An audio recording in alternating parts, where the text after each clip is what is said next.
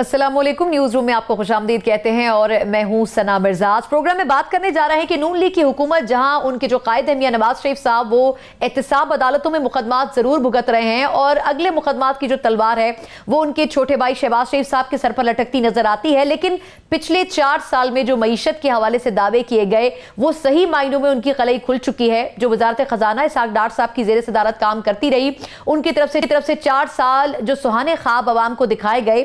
اب جو عداد و شمار سامنے آتے ہیں، ان سے لگتا یہ ہے کہ حقیقت اس کے بالکل برعکس ہے۔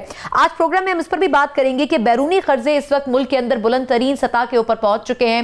اس کے باوجود بھی ہمارا سٹیٹ بینک یہ کہتا ہے کہ اس میں پریشانی کی کوئی بات نہیں، یہ معمول کی بات ہے، کیا واقعی اگلے الیکشن سے پہلے پاکستانی معیشت بدترین صورتحال سے دوچار ہو سکتی ہے؟ اس کے بعد ایک اور اہم ترین چیز جو کہ ایف اے ٹی ایف کے حوالے سے تھی، پاکستان کا نام ان ممالک کی فہرست میں شامل کیا جانا تھا جو کہ دہشت گردی کی معاونت کرتے ہیں۔ پاکستانی کوششیں سفارت وزارتی سطح پر کیا اس طریقے سے کام نہیں کر سکی کہ جو ٹائم فریم رکھا گیا ہے، اس کو تھوڑا سا ایکسٹینڈ کر کے جون تک لے جایا گیا ہے۔ یعنی کہ ابھی بھی پاکستان کے لیے مشکلات سفارتی سطح پر اچھی نظر نہیں آتی ہیں اور لگتا یہ ہے کہ بڑھتی ضرور جائیں گی۔ اس میں قصور کیا پاکستانی گورنمنٹ کی ترجیحات کا ہے یا پھر شاید پاکستانی فورن پالیسی کا ایجنڈا صحیح معنوں میں پورٹرے نہیں کیا جا سکا۔ پروگرام میں ہم اس پر بھی بات کریں گے اور آگے چل کر آج چیمہ صاحب، جن کی گرفتاری اور اس کے بعد جو کانٹریکٹر شاہد شفیق تھے، ان کی گرفتاری اور ان کا جو جسمانی ریمانڈ ہوا ہے، اس سے تخت لاہور میں جو ہلچل مچتی ہمیں نظر آتی ہے، خاص طور پر جو ان کی سول بیوروکریسی ہے، اس میں اب لگتا یہ ہے کہ مسائل اب شہباز شریف صاحب کے لیے بھی بڑھ رہی ہیں، وہ تمام ایشوز ہیں جن پر بات کریں گے، لیکن پروگرام کے پہلے حصے میں خاص طور پر اکانومی کے حوالے سے اور ایف اے پاکستان کا جو نام ڈالا جانا تھا اس سے کیا اثرات پڑ سکتے تھے؟ اس پہ بات کرنے کے لیے جو معزز مہمان ہمارے ساتھ موجود ہیں۔ ڈاکٹر سلمان شاہ صاحب سابق مشیر خزانہ بھی ہیں ہمارے ساتھ ویڈیو لنک پر موجود ہیں۔ شاہ صاحب بہت شکریہ سر آپ نے ہمیں وقت دیا۔ سر یہ بتائیے گا کہ اسٹیٹ بینک یہ کہتا جی، ہے کہ پریشانی کی کوئی بات نہیں ہے بیرونی قرضے اس وقت بلند ترین سطح پر پہنچ چکے ہیں۔ سر کیا ہم عوام کو یہی سمجھنا چاہیے کہ بالکل نارمل بات ہے یہ اور یہ وقت بھی گزر جائے گا؟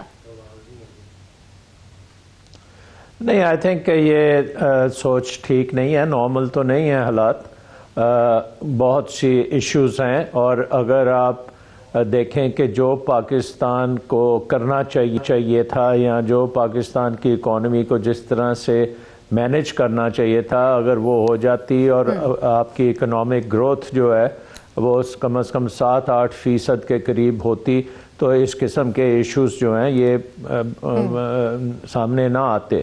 اب ہمیں اگر تھوڑا سا ٹائم ہو تو میں آپ کو کہوں کہ پاکستان کا جو سب سے جی، جی، بڑا۔ اسٹرینتھ ہے اور جو جو ہماری اب کمزوری بھی ہے لیکن وہ بہت بڑی اسٹرینتھ بن سکتی ہے وہ ہمارا یوتھ بلج ہے۔ یوتھ بلج کا مطلب ہے کہ دو سو دس ملین جو ہماری آبادی ہے اس کا تقریباً ساٹھ فیصد آبادی کا ساٹھ فیصد حصہ پچیس سال سے کم ہے۔ اور یہ دنیا کی تقریباً ینگ ترین ایک قسم کی پول آف ہیومن کیپٹل ہے جس کو اگر پراپرلی اگر ہم امپلوائے کرتے تو ہماری اکنامک گروتھ بھی ہوتی اور ہمیں جتنے جابس چاہیے تھے وہ بھی ملتے اور آٹھ پرسنٹ لینا کوئی مشکل بات نہیں تھی۔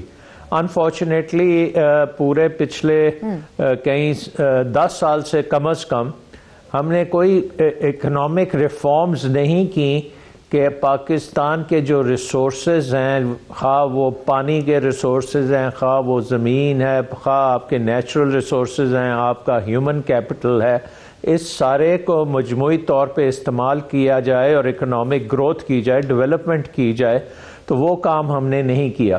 اگر آپ موسٹ ریسنٹ بھی ابھی آپ نے انٹروڈکشن میں ہی بات کی کہ سارے اب انڈیکیٹرز خراب ہوتے جا رہے ہیں۔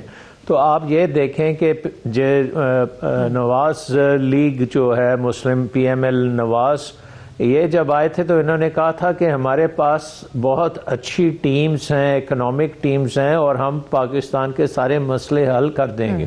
سر ڈار صاحب کے وعدے سب کو یاد ہیں۔ کہ بالکل ٹھیک۔ جی جی۔ اور اب اب ہمیں پتہ لگا ہے کہ جو وہ کہتے ہیں کہ ہم نے بجلی کا لوڈ شیڈنگ ختم کر دی تو سڈنلی اب ہمیں پتہ لگا ہے کہ وہ جو بجلی کے کارخانے لگے ہیں یا جنریٹرز ختم نہیں ہوگی۔ اسٹیشنز لگے ہیں وہ وہ دنیا کے سب سے ایکسپینسو بجلی بناتے ہیں۔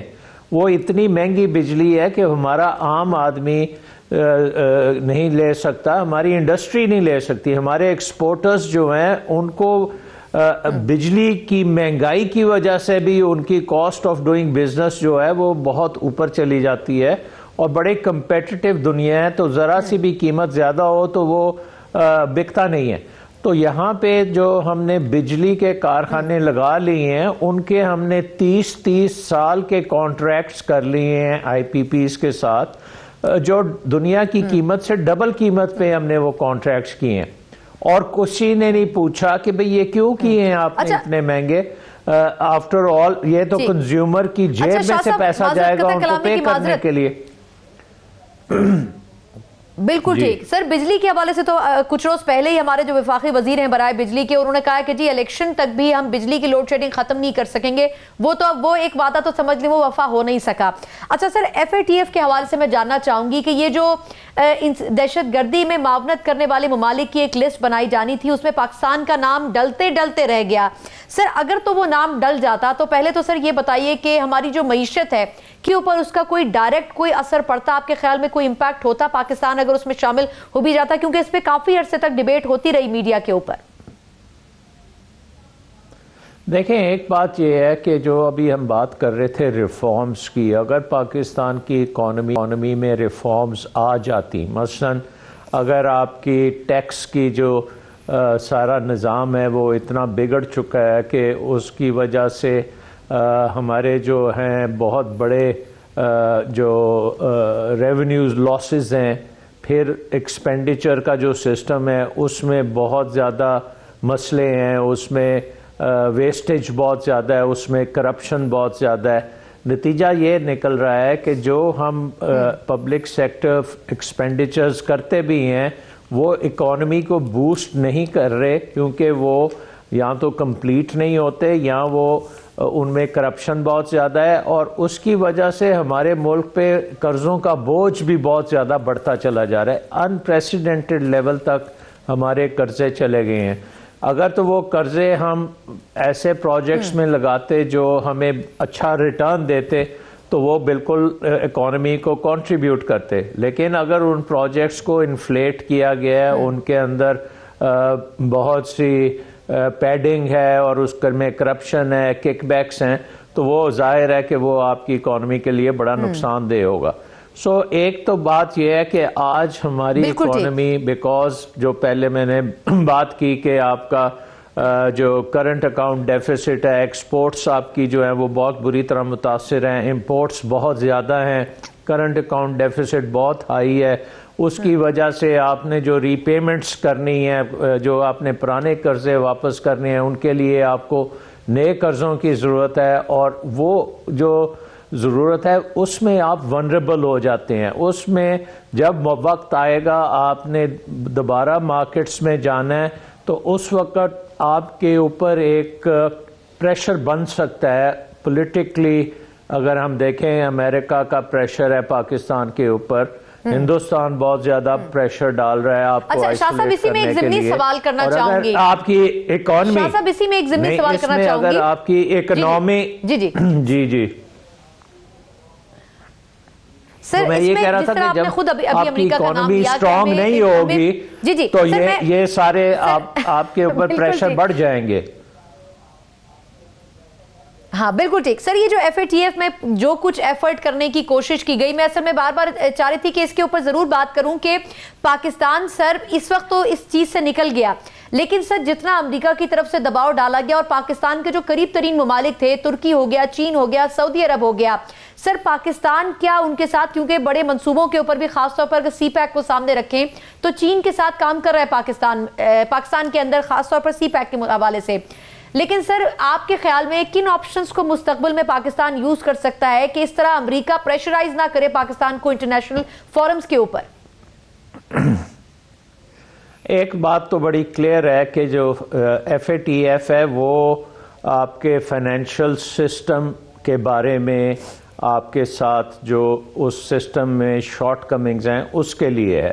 لیکن اس کو لگتا ہے کہ امریکہ اس کو آپ کے اوپر پریشر ڈالنے کے لیے بھی کر رہا ہے۔ سو پہلے اسٹیپ میں تو میں یہ کہوں گا کہ ایف اے ٹی ایف کے تحت اگر کوئی ہمارا پلان بنے گا جو اب انہوں نے کہا جا رہا ہے کہ پلان ہوگا وہ ہمارے بینکنگ سسٹم کو اور ہمارے کیونکہ بہت بڑی اکانومی ہے جس کے اوپر ریمیٹنسز کا دار و مدار ہے۔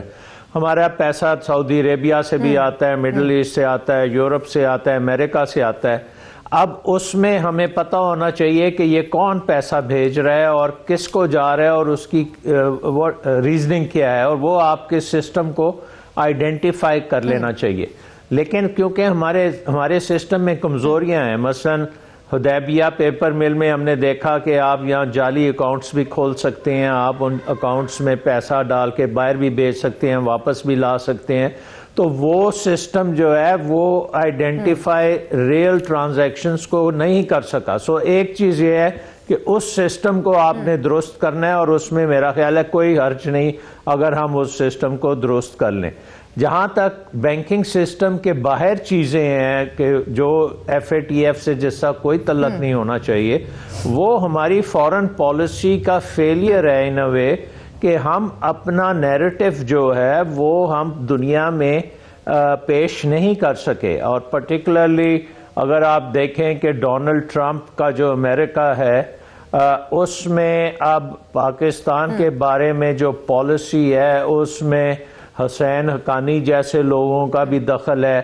اس اس اس تھنکنگ کا دخل ہے کہ پاکستان میں جو اسٹیبلشمنٹ ہے اس کو جب تک آپ پیچھے نہیں کریں گے اس وقت تک پاکستان کی جو جو ہم اس سے کام کرانا چاہتے ہیں وہ نہیں کریں گے۔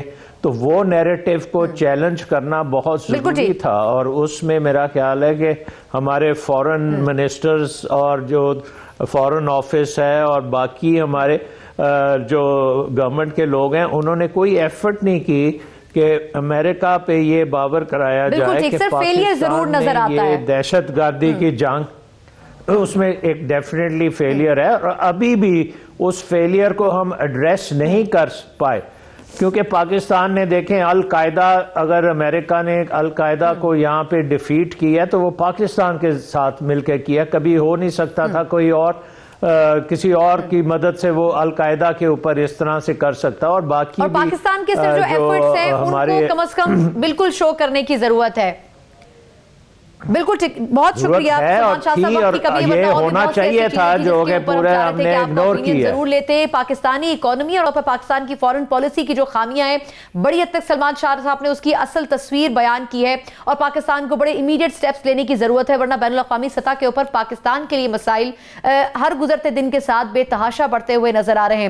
ایک مختصر وقفہ اور اس کے بعد ہم بات کرنے جا رہے ہیں کہ ہاں چیمہ صاحب کی گرفتاری اور اس کے بعد پیدا ہونے والے مسائل اور سب سے بڑھ کر یہ کہ پنجاب حکومت حکومت کس طریقے سے سول بیوروکریسی کو استعمال کرنے کی کوشش کر رہی ہے؟ شہباز شریف صاحب کو بچانے کے لیے کیا واقعی ان ریالٹی ایسا ہی ہو رہا ہے پنجاب میں؟ اس پر بھی بات کریں گے ایک مختصر وقفے کے بعد، ہمارے ساتھ رہیے گا۔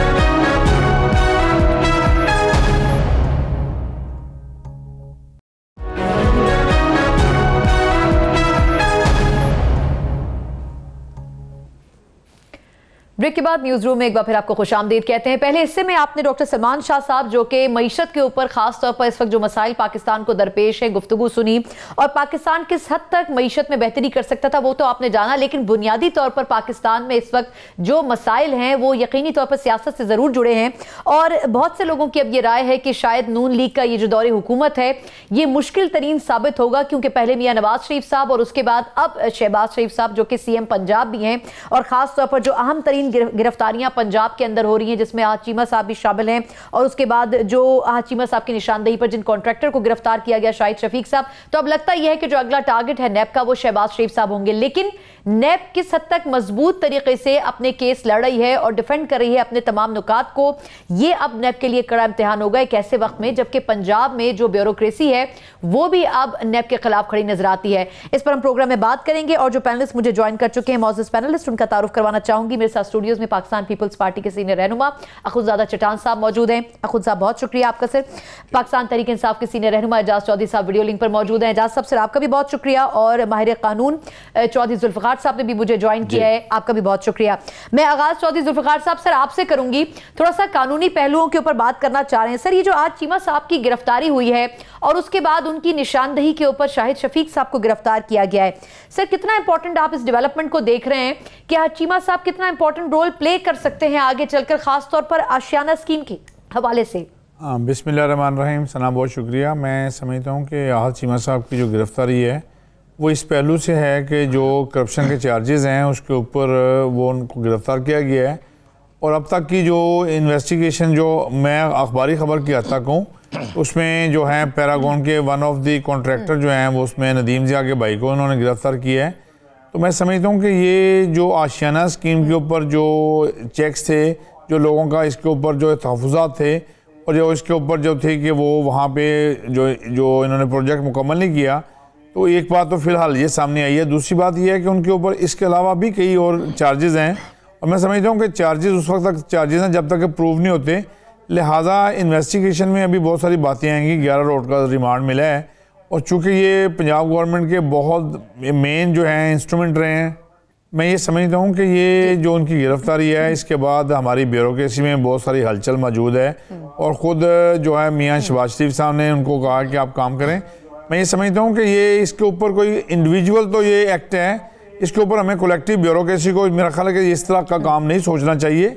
اور یہ ایک ایسی چیز ہے جس کے متعلق میں سمجھتا ہوں کہ کوئی بھی اگر کلپریٹ ہے وہ سامنے آنا چاہیے۔ اگر وہ اس میں نہیں انوالو ہوں گے نیچرلی وہ ایگزنوریٹ ہو جائیں گے۔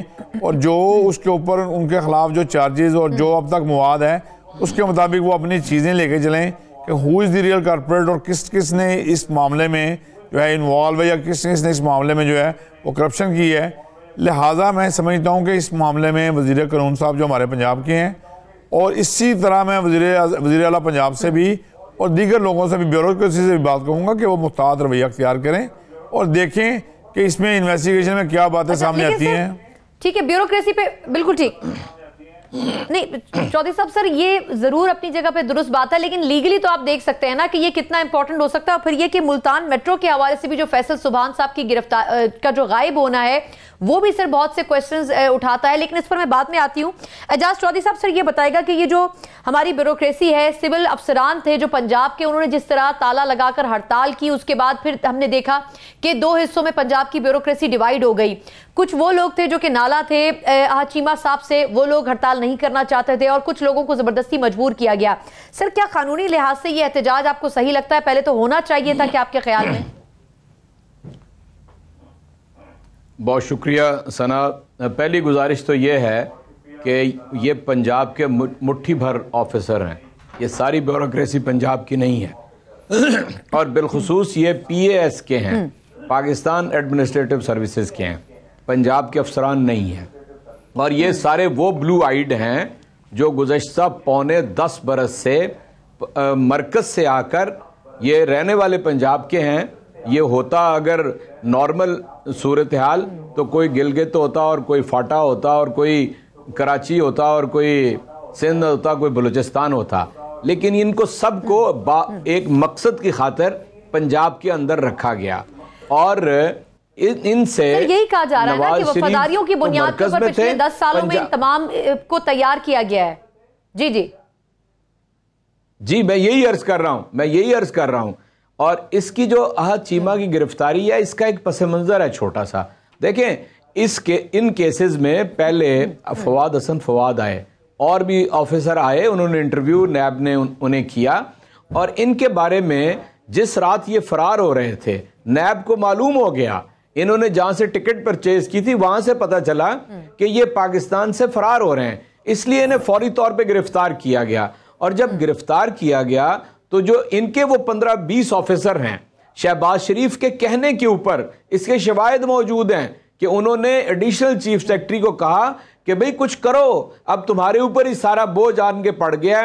انہوں نے رات کو اکٹھے ہو کے صبح تالہ بندی کی کوشش کی اور عوام کے اندر شدید استراب تھا جب انہوں نے یہ کام کیا۔ اور اس کے بعد یعنی باقی لوگوں نے انکار کیا۔ انکار کیا تو وہ آپ دیکھیں ہو کیا رہا ہے۔ یعنی وہ تو دو دفعہ یہ غیر قانونی اور بغاوت والی حرکت کر کے جا کے کام پہ بیٹھ گئے ہیں پریشان کون کون ہے؟ مرکز میں مریم اورنگزیب صاحبہ پریشان ہے سعد رفیق پریشان ہے رانا ثناء اللہ پریشان ہے پنجاب کے سارے نون لیگ کی لیڈرشپ اس قدر چیخیں ان کی نکل گئی ہیں اس کی ایک گرفتاری سے۔ بھئی اس کے اوپر تو چودہ ارب روپے کا ایک کیس ہے آشیانہ کا۔ تو آپ اس کی انویسٹیگیٹ ہونے دیں۔ اگر شہباز شریف کا ہمیشہ سے یہ دعویٰ رہا ہے کہ میں نے ایک دھیلے کی کرپشن نہیں کی۔ اور ایک دھیلے کی کرپشن اگر ثابت ہو جائے تو مجھے آپ پکڑ لیں۔ اب مجھے بعض اوقات یہ اندازہ ہوتا ہے کہ شہباز شریف صاحب کا دھیلا ڈالر کا ہے۔ شہباز شریف صاحب کا اثر و رسوخ ہے۔ سر ایک ضمنی سوال بھی مختصر میں جواب چاہوں گی کہ اگر ایسا آپ جی۔ کو لگتا ہے کہ جیسے پنجاب میں اگر شہباز شریف صاحب یہ کروا سکتے ہیں تو ہو سکتا ہے وفاق میں نواز شریف صاحب بھی کسی موقع کے اوپر بیوروکریسی کو کہیں کہ یہ تمام احتجاج ہو اور یہ سب کچھ کیا جائے۔ فواد حسن، فواد صاحب تک اگر ہاتھ جاتے ہیں نیب کے، تو پھر تو وفاق میں بھی یہ درپیش ہو سکتی ہے صورتحال۔ دیکھیے، میں آپ سے عرض کرتا ہوں کہ ساری بیوروکریسی ایسی نہیں ہے۔ میں پھر پوری ذمہ داری سے کہتا ہوں، بہت دیانتدار، بہت ایفیشنٹ کمپیٹنٹ آفیسرز موجود ہیں، چاہے وہ فیڈرل گورنمنٹ سے ہوں، چاہے وہ پروونشل گورنمنٹ سے ہوں۔ لیکن یہ خاص لوگ ہیں، یہ پروردہ ہیں شریف فیملی کے جو مرکز میں ہوں یا پنجاب کی بیوروکریسی میں ہو پونے دس سال انہوں نے شہباز شریف کے، سیاہ و سفید کے مالک رہے ہیں۔ یہ ایک پروجیکٹ نہیں ہے عہد کے پاس۔ اس کے پاس میٹرو ملتان ہے، اس کے بعد میٹرو لاہور ہے، اس کے بعد ایل ڈی ہے، اس کے بعد بھکی پروجیکٹ ہے، اس کے پاس اورنج ٹرین ہے۔ آپ ملتان کے اگر اس پروجیکٹ کو دیکھ لیں جو ملتان بس سروس ہے اس کے شیشے کالے ہیں چلتی بھی نہیں ہے دیر دیر بعد اس میں سفر بھی کوئی نہیں کرتا۔ لیکن انہوں نے اس کے اندر کیک بیکس لے لی۔ وہ جو فیصل سبحان آپ نے اپنے انٹرو میں کہا ہے جی اس کو بازیاب کیا جائے۔ زمین کھا گئی جی، یا آسمان نکل گیا اس کو؟ کوئی اس کو لے کے آئے۔ وہ غائب ہے۔ اس نے یہ سٹوری بریک کی تھی پاکستان میں آ کے کہ چائنا کی جو ایس سی پی ہے اس نے یابید جو کمپنی پکڑی اٹھتر گنا پروفٹس اس کے ایک سال میں ہو گئے۔ تفتیش کی تو پتا چلا پاکستان میں پیچھے اس کے ڈانڈے بل رہے ہیں اور اس کے بارے میں پتا چلا کہ یہاں سے کمیشن باہر وصول کیا جاتا ہے اور ان آف شور اکاؤنٹس کے اندر ہیں جو شریف فیملی کے بے نامی اکاؤنٹس ہیں۔ بالکل ٹھیک۔ اخونزادہ چٹان صاحب، پہلے تو سے یہ بتائیں کہ یہ جو افسران کی طرف سے پہلے پروٹیسٹ کیا گیا، ہڑتال کی گئی، کسی کو او ایس ڈی نہیں بنایا گیا، کسی کے خلاف کوئی بھی کاروائی نہیں کی گئی۔ اس کے بعد یہ ہڑتال ختم ہوئی اور لوگ واپس کام پر بھی چلے گئے، جس طرح اعجاز چودھری صاحب کہہ رہے ہیں۔ کوئی ایکشن نہیں لیا گیا۔ کیا شہباز شریف صاحب کی جو گورنمنٹ ہے، بڑی لینینٹ ہے، یا اصل میں پسے پردہ وہی گورنمنٹ یہ کام کرنا چاہ رہی تھی کہ یہ پریشر ڈالا جائے نیب کے اوپر؟ بسم اللہ الرحمن الرحیم۔ جی مجھ جیسے اور آپ جیسے بہت سارے لوگ حیران بھی ہیں پریشان بھی ہیں۔ کہ آخر نواز شریف فیملی اپنے جرائم کو چھپانے اور اپنے کرپشن کو چھپانے کے لیے اس ملک کو کہاں لے کے جائیں گے؟ اور کس حد تک یہ لوگ جا رہے ہیں؟ اپنے کرپشن کے جو اس پہ پانامہ میں الزامات ہیں جو نہ ہم نے لگائی نہ پی ٹی آئی نے لگائی نہ اسٹیبلشمنٹ نے لگائی نہ ججوں نے لگائی۔ یہ تو بین الاقوامی اسکینڈل ہے بین الاقوامی اسکینڈل اس جرائم کو چھپانے کے لیے انہوں نے ہماری اسٹیبلشمنٹ پہ بھی اٹیک کیا کہ اس کے کریٹیبلٹی خراب ہو کہ یہ ہمارے خلاف سازشیں کر رہے ہیں۔ انہوں نے آرمی پہ بھی اٹیک کیا کہ آرمی ہمارے کی طرف سے سازش سازشیں ہو رہی ہیں۔ انہوں نے عدلیہ کو بھی ٹارگٹ کیا کہ عدلیہ سازشیں کر رہی ہیں۔ اب بغاوت کروانا چاہتے ہیں بیوروکریسی اور عدلیہ کو آپس میں لڑانا چاہتے ہیں۔ یہ بیوروکریٹس نہیں ہے۔ بیوروکریٹس پنجاب کے نہیں ہوتے۔ یہ پورے پاکستان کے بیوروکریٹس ہیں کیا آپ نے پنجاب کے علاوہ کہ اور پہ یہ چیزیں دیکھی؟ پنجاب میں بھی مکمل طور پہ نہیں ہوا۔ یہ اٹھارہ انیس لوگ جو شہباز شریف صاحب کے ذاتی ملازم ہیں جو شہباز شریف صاحب کے ذاتی ٹاؤٹ ہے جو ان کو پراجیکٹ بیچتے ہیں اس کو پراجیکٹ پہ لگانے سے پہلے ان سے پیسے لیتے ہیں۔ اور پھر پراجیکٹ میں بھی جو پراپٹ ہوتا ہے وہ ان کے ساتھ شیئر کرتے ہیں۔ جب احمد چیمہ پکڑا گیا تو وہ باقی لوگ ان کو بھی پتہ ہے کہ ہمارا بھی یہ انجام ہونے والا ہے۔ اگر تخت لاہور پہ ہاتھ ڈالا گیا چیمہ پہ ہاتھ ڈالنا نا وہ شریف پہ شابہ شریف پہ ہاتھ ڈالنے کے برابر ہے تو ہمارا بھی خیر نہیں ہے۔ یہ ہاتھ تو ہم تک بھی پہنچ جائیں گے۔ ہم۔ سے بھی پوچھا جائے گا۔ بھائی آسان طریقہ ہے۔ آپ جل سے کرتے ہیں جاتے ہیں۔ اونٹ کا تقدس یعنی شہباز شریف صاحب کی سپورٹ تو ہے نا اس کا مطلب ہے۔ تمام لوگوں کے پیچھے جن کی آپ بات کر رہے ہیں جو احتجاج کرنا کی کوشش کر رہے تھے۔ کیا یہ کیا شہباز شریف؟ میں آپ کو ایک لمبا لسٹ اگر مجھے پتا ہوتا کہ آپ اس ٹاپک ہے آپ کی تو میں ایک لمبا لسٹ لے کے آتا۔ تمام آفیسرز کی کہ پولیس کی کتنے آفیسرز ابھی تک نیب میں پیش ہوئی ہے جیلوں میں گئی ہیں کتنے بیوروکریسی کی کتنے نیوی کی کتنے سیاستدان۔ ابھی تک تو کسی نے ہڑتال نہیں کیا ہے ابھی تک تو کسی نے لڑائی نہیں کی ہے۔ یہ تو پہلے بار ہمیں نظر آ رہے ہیں اور یہ وہ نہیں رہے یہ کروا رہی ہے۔ میں نے تو پہلے آپ کو کہا کہ آخر نواز شریف صاحب کا اپنا حد کیا ہے؟ کس حد تک؟ اس ملک کو ٹوٹنے کے حد تک جس طرح کہ انہوں نے کہا کہ میں موجب بن رہا ہوں۔ اس حد تک جانا چاہتے ہیں۔ اچھا کیونکہ نواز شریف صاحب کو خطرہ کیا ہے میں آپ کو یہ بھی بتاؤں۔ انہیں تو بہت سے خطرات ہوں گے ویسے۔ ابھی اس کو جو سب سے بڑا خطرہ ہے وہ یہ ہے کہ ان کے پاس کوئی ثبوت ایک سمپل کاغذ بھی نہیں ہے۔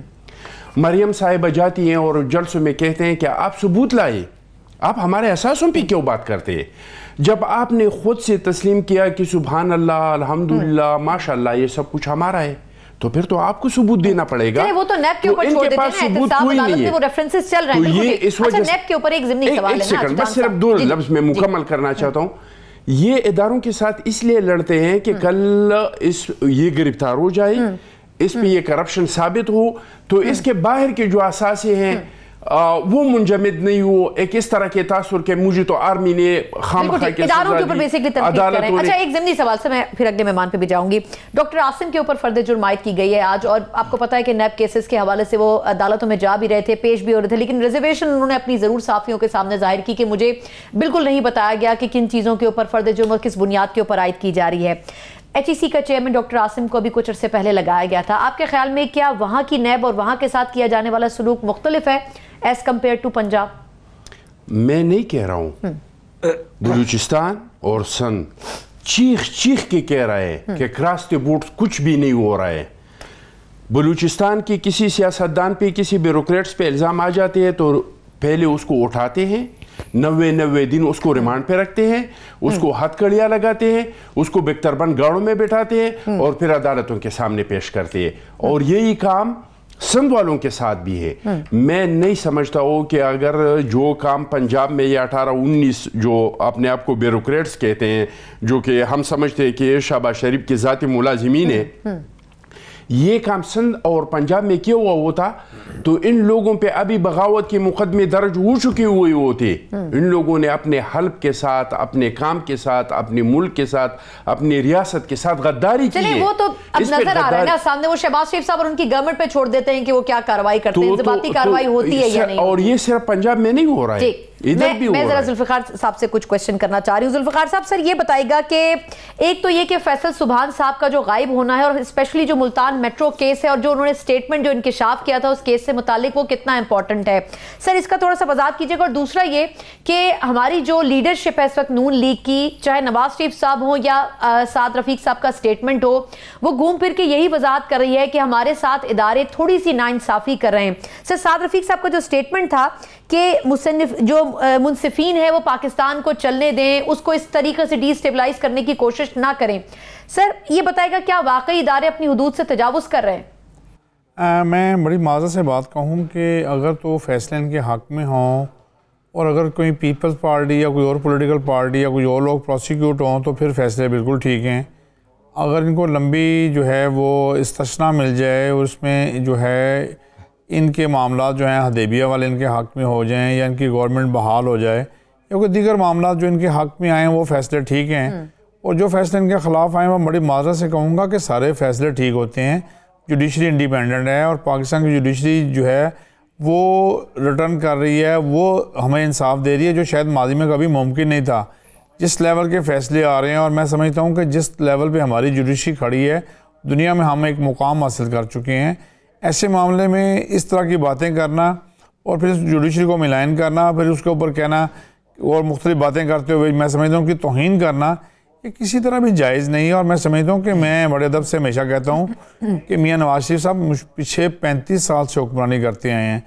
پینتیس سال سے انہوں نے اس طرح کا طرز حکمرانی میں جو ہے اپنی مداخلت نہیں دیکھی اور ایک شخصی آمریت کہہ لیں یا ان کی ایک اپنی فیملی حکومت کہہ لیں، جس میں کبھی کسی کو چیک نہیں کیا گیا۔ اور آپ کے سامنے ہے کہ ہمارے ہاں اپوزیشن کا جو رول ہے وہ آپ کے سامنے ہے کہ ہمارے ہاں اسمبلی میں کتنی اپوزیشن ہوتی ہے اور اس سے کہیں زیادہ ہمارے ہاں سڑکوں پہ ہوتی ہے۔ لہذا یہ پہلی دفعہ ان کو یہ جو ہے اس طرح کا معاملہ نظر آ رہا ہے جس میں ان کے ایسٹس کا معاملہ ہے ان کی طرز حکمرانی کا معاملہ ہے ان کے باسٹھ تریسٹھ آرٹیکلز کا معاملہ ہے۔ اسی طرح ان کے دیگر جو ان کی پارٹی کے لوگ ہیں ان سارے کے معاملات جو ہیں اور پہلی دفعہ میں دیکھ رہا ہوں کہ نیب جو ہے وہ ایک امپارشل ہوتے ہوئے کراس دی بورڈ وہ چاہے کہیں پیپلز پارٹی ہے، کہیں تحریک انصاف ہے، یا پاکستان مسلم نون ہے، یا کوئی بھی پارٹی ہے، کوئی بھی شخص ہے، کوئی بھی بیوروکریٹ ہے، وہ سب کے سب کو جو ہے اس معاملے میں دیکھ رہے ہیں، ان معاملات کو چیک کر رہے ہیں۔ اور میں سمجھتا ہوں کہ اس ملک میں میں سمجھتا ہوں اب بہت کچھ ہو گیا ہے۔ اب اس ملک نے اپنی اثر راہ پہ آنا ہے، اس ملک کو ہم نے ٹرانسپیرنسی دینی ہے۔ اس ملک میں ہم نے لوگوں کو اس کا حق دینا ہے۔ سبحان صاحب کا تھوڑا سا بتا دیجیے گا کہ وہ کتنے امپورٹنٹ ہو سکتے ہیں۔ ذوالفقار صاحب وہ کتنے امپورٹنٹ ہو سکتے ہیں میں سمجھتا ہوں وہ میں سمجھتا ہوں کہ بڑے امپورٹنٹ آدمی ہیں ضرور ان کو سامنے لے کے آنا چاہیے کہ وہ کہاں چلے گئے زمین کھا گیا آسمان نکل گیا ان کو ان کی بات سامنے آنی چاہیے۔ اور میں یہ بات یہاں کہوں گا کہ سبحان صاحب جو ہیں وہ کنہوں نے غائب کیے یہ کہاں چلے گئے ہیں؟ میں سمجھتا ہوں یہ کویسچن جو ہے وہ ہماری طرز حکمرانی کے اوپر بھی آتا ہے کہ وہ کہاں چلے گئے ہیں۔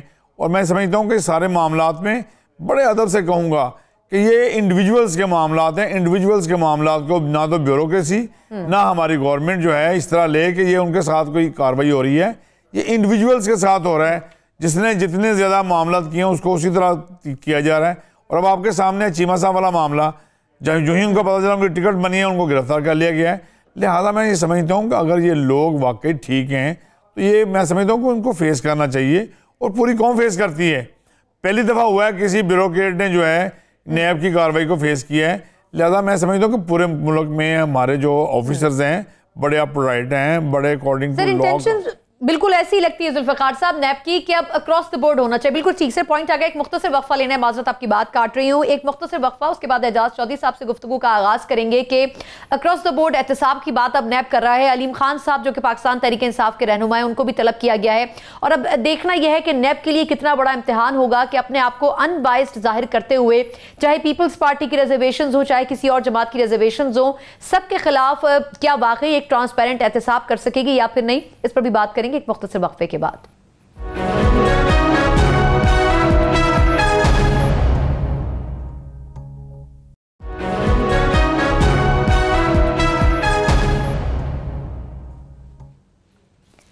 بریک کے بعد ایک بار پھر نیوز روم میں خوش آمدید کہتے ہیں، خود چٹان صاحب اعجاز چودھری صاحب اور چودھری ذوالفقار صاحب ہمارے ساتھ موجود ہیں۔ اعجاز چودھری صاحب سے یہ بتائے گا کہ پیپلز پارٹی کافی عرصے سے یہ کہتی آئی ہے کہ ان کے ساتھ نہ صرف امتیازی سلوک نیپ نے کیا، بلکہ سب سے زیادہ کیسز بھی سر ان کے خلاف فائل کیے گئے۔ اب سر نون لیگ کے اوپر چھری چلنے کا وقت آیا، تو نون لیگ کی بھی سر آواز آ رہی ہے ریاکشن میں۔ اب سر مستقبل قریب میں کیا لگتا ہے کہ جس طریقے سے علیم خان صاحب کو طلب کیا جا رہا ہے اور کچھ پرانے کیسز بھی کھولے جا رہے ہیں؟ جاوید اشرف قاضی صاحب جو کہ مشرف دور میں پرائم جو وزیر رہے ہیں، وفاقی وزیر، ان کے اوپر بھی بات کی جا رہی ہے کہ ان کا نام بھی ای سی ایل میں ڈالا جائے، نیب کی طرف سے یہ کہا جا رہا ہے۔ سر، کیا یہ ظاہر کرنے کی کوشش کی جا رہی ہے کہ نیب ان بائزڈ ہو کے اکراس دا بورڈ احتساب کرنا چاہتی ہے؟ میرا خیال ہے ثابت کرنے کی کوشش نہیں کی جا رہی، نیب ہے ہی اس وقت ان بائسڈ اور وہ ڈیڑھ سو مقدمات کے جو سپریم کورٹ نے طلب کیے تھے اور ایک فہرست پیش کی گئی تھی، ان سب کو وہ کھول رہے ہیں، یا اگر کوئی نئی کرپشن کا کیس سامنے آتا ہے تو اس کو کھول رہے ہیں۔ دیکھیں، اس سے پہلے جو نیب کے چیئرمین تھے، ان سے تو میرا خیال ہے کہ یہ سوال ہی کرنا یا ان سے مطالبہ یا اپیل کرنا کہ وہ ان بائسڈ رہیں اور کسی صوبے میں کوئی امتیاز نہ کریں، کسی سیاسی پارٹی کا کوئی امتیاز نہ کریں کسی فرد کا اونچے نیچے ہونے کا کوئی لیکن جسٹس جاوید اقبال صاحب نے جب یہ ذمہ داری اٹھائی ہے، ہم یہ سمجھتے ہیں کہ احتساب اکراس دی بورڈ ہوتا ہوا نظر آ رہا ہے۔ اگر کچھ گلا، جس طرح چٹان صاحب نے کہا ہے، میں اتفاق کرتا ہوں اس سے یعنی وہاں پر سب کو پکڑ کر پیش کیا جاتا ہے اور یہاں پر یہ ہنستے ہنستے نیب کی عدالت میں جاتے ہیں اور باہر نکلتے ہیں اور ان کے منہ سے جھاگ نکل رہی ہوتی ہے، چاہے نواز شریف صاحب ہوں، چاہے مریم بی بی ہوں، چاہے کوئی صفدر صاحب ہوں۔ میں یہ ہونا اسی طرح چاہیے۔ اگر گرفتار آہد چیمہ کو کیا گیا ہے، تو گرفتاری اسلام آباد میں پیش ہونا چاہیے ان کو۔ یہ کوئی آسمان سے اترے ہوئے نہیں ہیں، چاہے پولیٹیشین ہو، چاہے کوئی بیوروکریٹ ہو، چاہے کوئی اور ہو۔ اس لیے اس پہ دوسری بات، میں بہت یعنی اس بات پہ حساس ہوں۔ یہ جو پنجاب کے بیوروکریسی کے چند لوگوں نے ہڑتال اور تالے لگانے کی کوشش کی تھی، کی ہے اگر یہ بلوچستان، سندھ یا کے پی کے میں ہوتا، کسی چھوٹے صوبے میں ہوتا، آپ غداری کے الزامات لگاتے۔ آپ کہتے ہیں جناب، یہ پاکستان سے علیحدہ ہونے چاہتے ہیں۔ آپ یہ اور پنجاب میں ہوا ہے، تو میں سمجھتا ہوں میڈیا بھی بس اس کو بین بین ہی لے رہا ہے۔ اس پہ کوئی بات نہیں کر رہا۔ آپ کے سینئر قانون دان بشمول چوائس ذوالفقار صاحب کے یہ کہہ رہے ہیں کہ یہ میوٹنی ہے، یہ بغاوت ہے۔ اور یہاں پر آپ نے کہا، دیکھتے ہیں، شہباز شریف کرتا ہے کہ کچھ نہیں۔ شہباز شریف نے تو یہ ساری بغاوت کروائی ہے۔ یہ ایڈیشنل سیکٹری پنجاب کو یہ باقاعدہ حکم دیا کہ جاؤ جا کے کچھ کرو اپنے لیے کوئی حمایت کہیں سے کٹھی کرو۔ میں بھی بات کر چکے ہیں۔ اجاز صاحب صرف صوبائی جو بیوروکریسی ہے وہ تو سپورٹ نہیں کر رہی نا وہ تو چیمہ صاحب کے ساتھ کوئی اچھے ان کے براسم نہیں رہے۔ بالکل نہیں میں نہیں مرکزی کے دیکھیں مرکزی کے بھی جو بہت دیانتدار آفیسر ہیں بالکل نہیں کر رہے ان کی بھی تھوڑی تعداد نہیں ہے۔ یہ تو پندرہ سے بیس کے درمیان ہے اوورال تو میرا خیال ہے ساٹھ ستر آفیسر ہیں یہ کل۔ اچھا میں آپ سے کہنا یہ چاہتا ہوں کہ پنجاب کی حکومت نے یہ سارا کام کرایا یہ جو بغاوت ہے یہ پنجاب کی حکومت نے کروایا ٹھیک علیم خان صاحب کے حوالے سے سر جواب دے دیں وہ پیش ہوں گے نیب کے سامنے؟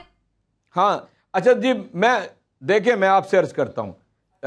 میں ہوں علیم خان ہو یا تحریک انصاف کا کوئی اور لیڈر ہو۔ نیب جس کو طلب کرے اسے جانا ہوگا اسے اپنے آپ کو وہاں سے پاک اور صاف کروانا ہوگا ورنہ وہ اسی لائن میں سمجھا جائے گا جس لائن میں باقیوں کو ہم سمجھ رہے ہیں۔ کوئی امتیاز تحریک انصاف اس حوالے سے نہیں کر رہی ہے۔ میں میں بھی کیوں نہ ہوں؟ میں اپنے آپ کو شامل کر کے یہ ساری بات کہہ رہا ہوں۔ بالکل ٹھیک۔ چلیں، اب دیکھتے ہیں سر کہ آگے کیا ہوتا ہے، کیا واقعی یہ کر بھی پاتے ہیں یا نہیں کر پاتے۔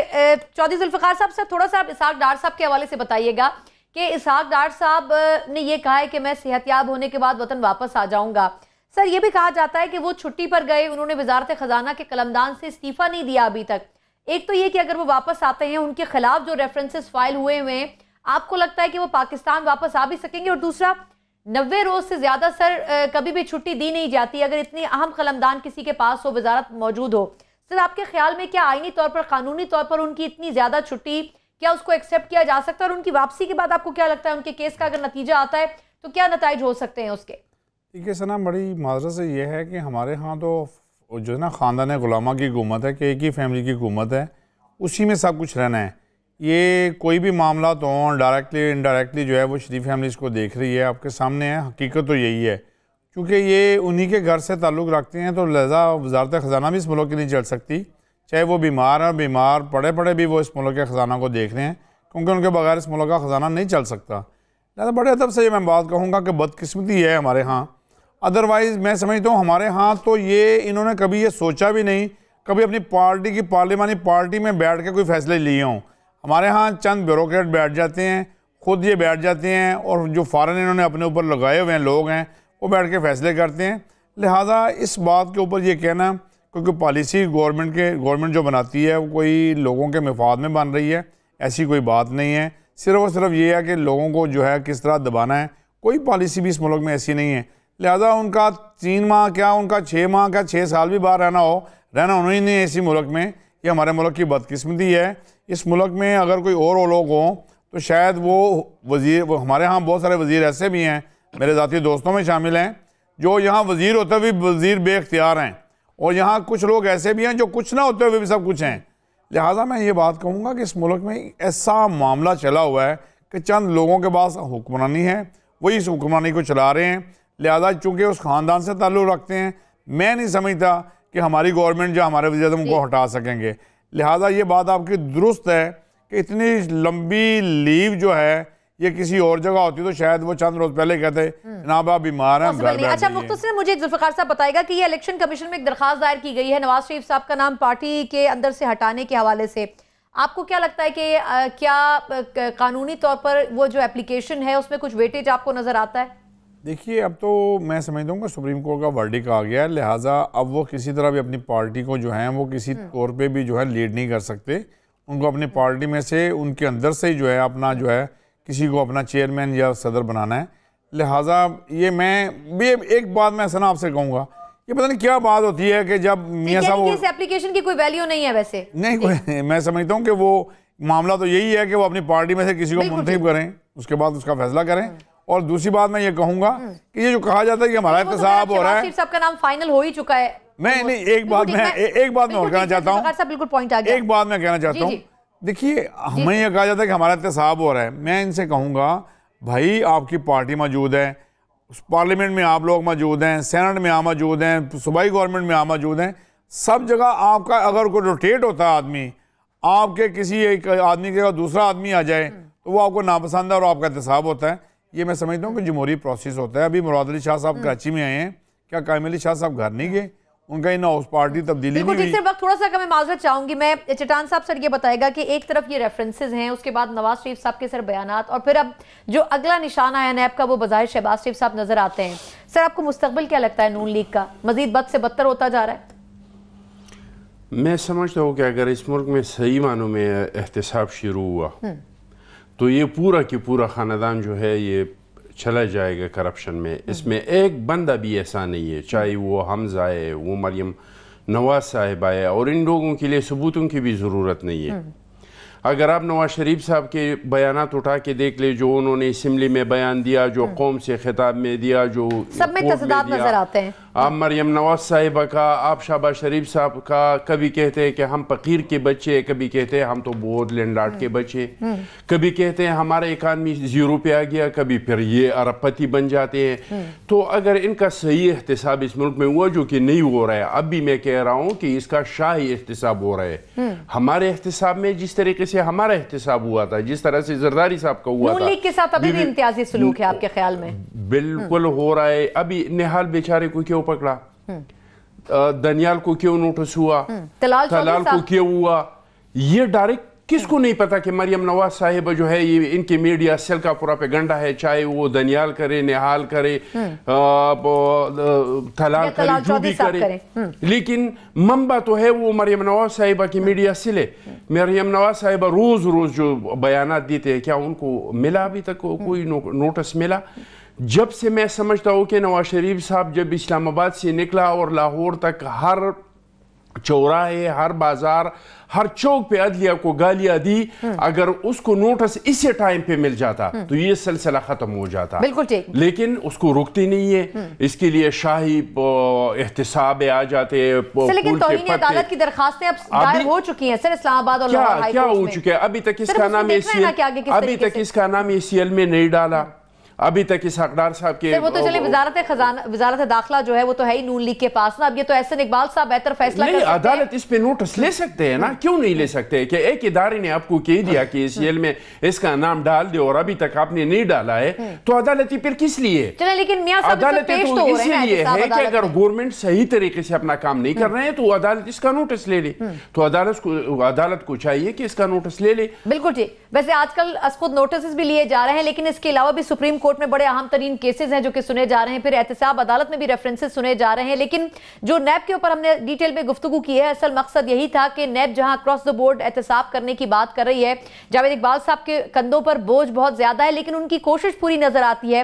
جس طریقے سے وہ کیسز کھول رہے ہیں کہ چاہے وہ نون لیگ کے ہوں، چاہے پیپلز پارٹی کے ہوں، چاہے پی ٹی آئی کے ہوں، جہاں جہاں پر کرپشن کی گئی، جہاں جہاں پر کرپشن کے مبینہ طور پر ثبوت موجود ہیں، وہاں پر نیب کاروائی کرنے کی کوششیں کر رہی ہے۔ اب دیکھنا یہ ہے کہ کیا واقعی ایک محدود ٹائم فریم میں رہتے ہوئے اگلے الیکشن سے پہلے یہ کیسز نمٹائے جا سکیں گے یا پھر نہیں۔ پروگرام کا وقت ختم ہوتا ہے۔ تینوں مہمانوں کا بہت شکریہ اور مجھے اجازت دیجیے۔ اللہ حافظ۔